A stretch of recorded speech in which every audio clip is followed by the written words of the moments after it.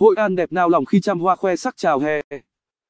Đến với phố cổ Hội An những ngày này, bên cạnh vẻ đẹp trầm lắng, hoài cổ của mái ngói rêu phong, của những bức tường in hằn dấu ấn thời gian, thì điều khiến du khách thích thú, say mê đó chính là những màu hoa rực rỡ khoe sắc dưới ánh nắng vàng đượm.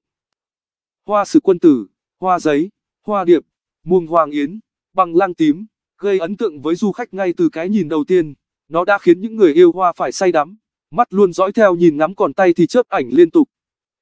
C Bính, N Linh.